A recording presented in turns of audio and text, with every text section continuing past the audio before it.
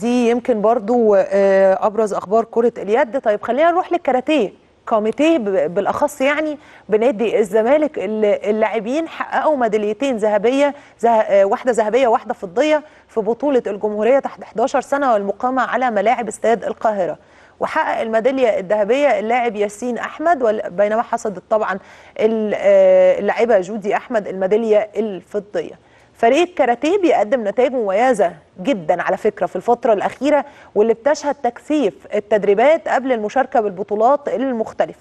بيقود كاراتيه الزمالك كل من كابتن جمعة سلامة كمدير فني كابتن أبو بكر عوض كمدير للقطاع كابتن حسن سعد وكابتن أحمد شفعي كمدربين كابتن محمد جمال عبد الناصر كمدير إداري كابتن محمود سراج وكابتن أشرف عبد الله وكابتن محمود جويش كإداريين.